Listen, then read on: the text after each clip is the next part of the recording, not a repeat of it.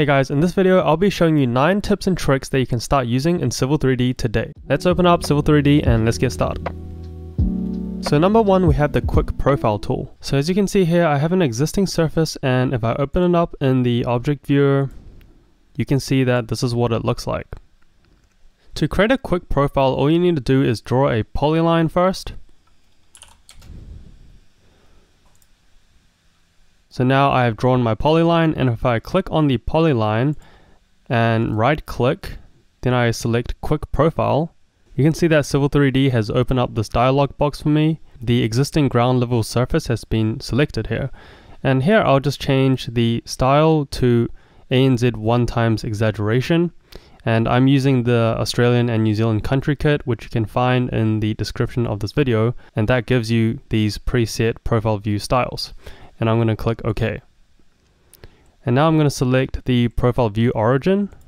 And if I move it slightly over, you can see that a simple profile view of the existing surface has been created. And this is a handy tool to create a quick profile of your surface if you don't want to create an entire profile view from scratch. Number two is the station tracker. So here you can see that I've created an alignment and I've also created a profile view. And a really useful tool that I use all the time is the station tracker. So if I click on the profile view and I come here to station tracker and select all viewports, you can see that Civil 3D shows this blue line for me and it indicates where I am along my alignment as I hover over the profile view. And I can do the same thing when I'm hovering over the alignment and Civil 3D will show me where I am in the profile view. Number three is the swap edges tool. So here you can see I've zoomed up on my existing surface and you can see that this contour doesn't look right as this edge of the triangle should actually be along this edge. So we can actually fix this by clicking on the surface coming here to edit surface and clicking on swap edge. Then I'm going to select this edge and you can see that the edge has been swapped and the contour has straightened out. And using this tool is a great way to smoothen out any rough spots in your contours. Number four is projecting crossing services. So here you can see I've created an existing alignment and I've also created a profile view for that alignment. You can see that I've drawn this green pipe here and projected it onto my alignment. I've also shown a crossing service here, which is this white pipe here that is crossing our green pipe. So I'll just delete this crossing service for now and I'll show you how to draw it onto the profile view. So firstly, we need to select the profile view, go to profile view properties, then click on show only crossing pipes. And you can see that the white pipe is network 5P5 and we're going to draw it to show it as a crossing service in our profile view. And I'm going to click OK. And you can see the white pipe has been drawn on our profile view. However, it doesn't look correct. So what we can do is go back to the profile view properties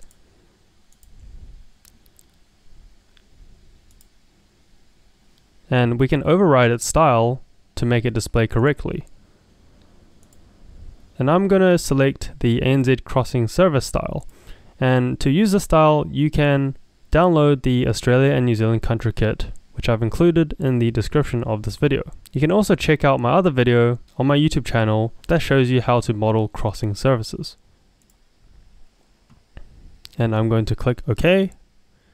And you can see now that the crossing service is now displaying correctly. Number 5 is fixing surface holes. So here you can see that there is a hole in our surface and this is a common bug in Civil 3D.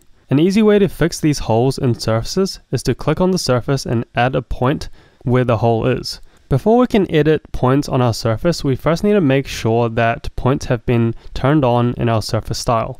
So if I click on the surface and come here to edit surface style, Civil 3D will open up this dialog box for me and I'm in the display tab and I'm going to turn on the points component and I'm going to click OK and you can see that Civil 3D has now turned on the points for me. Now I can edit my surface. To fix this hole I'm going to add a point at the location of the hole.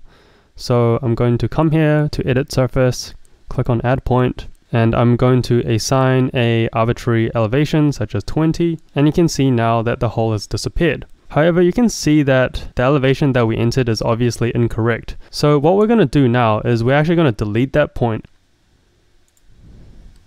So I'm going to come here, delete the point, and I'm going to select the point. And you can see now that the point has been deleted and also it has fixed the hole in the surface. And so this is just a quick trick to fix any holes in your surfaces. Number six is creating split profile views. Sometimes we'd like to create split profile views when our profile view may be too long and we'd like to cut it into smaller sections so that we can fit it on our base plans for instance.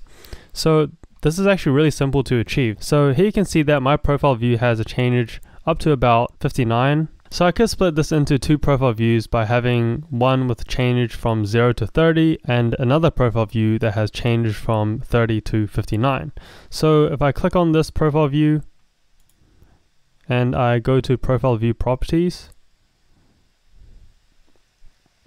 then I come here to stations and instead of automatic I'm going to select user specified range and I'm going to enter a value of 30 here.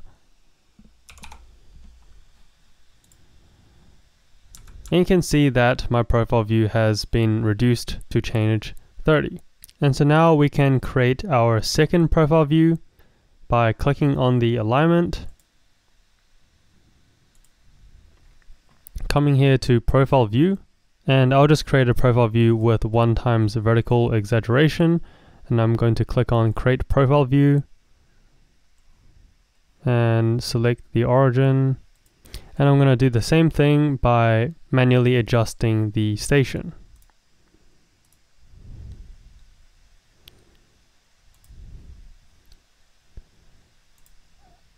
And here I'm going to enter 30 for the start station.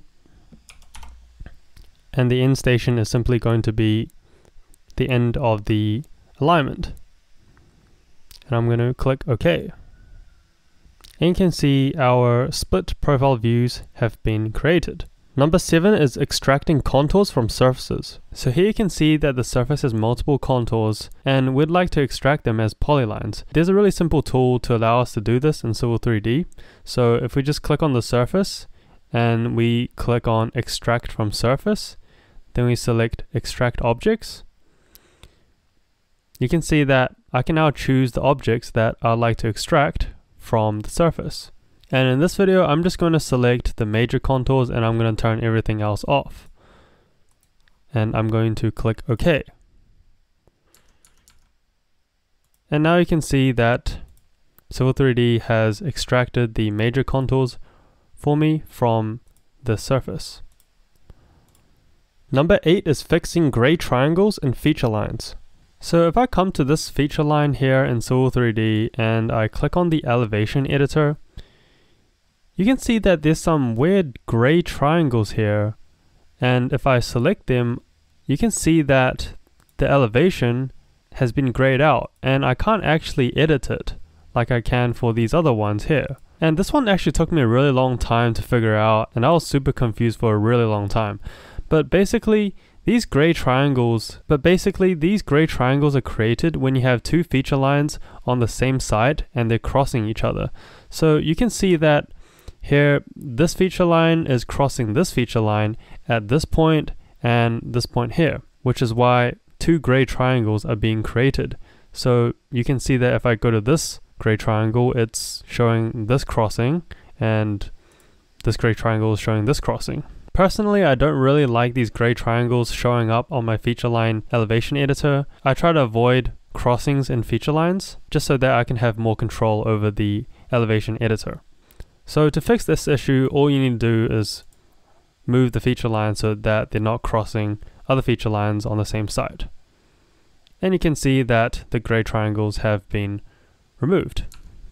You can also fix this problem by making sure that your feature lines are on different sides and you won't have this problem. Number 9 is editing spot elevation labels. Here you can see that I've added a spot elevation label to my surface and you can do this by clicking on the surface, coming here to add labels and clicking on spot elevations and selecting a point on the surface and that's how you add a spot elevation. However, a lot of times the spot elevation label will be too big. If you need to zoom into a section of the surface for some detailed work, then having these massive spot elevation labels really isn't going to help you. So To change the size of these spot elevation labels, you can click on the label and I'm just going to drag the property. And if you come here to this property here, the elevation label style and click on it and come here to create slash edit, you can edit the style of the elevation label and you can make it smaller or larger or customize it however you want. So here you can see I have a bunch of properties that I can customize and there's also a preview of what my label looks like after I apply the changes. So let's say I'd like to reduce the text height to, to 1.5 millimeters. And you can see that the text size has reduced. And if I hit OK, you can see that you can see that the spot elevation label size has decreased which is exactly what we want. We can also change the style of the marker here. So if we click on the label again, we can change the marker style by coming to here. And I'm using the Australia and New Zealand country kit, which I've linked in the description of this video, and it has provided some default styles. But let's say today we just want to make the marker a circle. So I'll just select this one, and you can see that the marker has changed to a circle. So yeah, that's it for this video and I hope this video was useful to you and thank you for watching.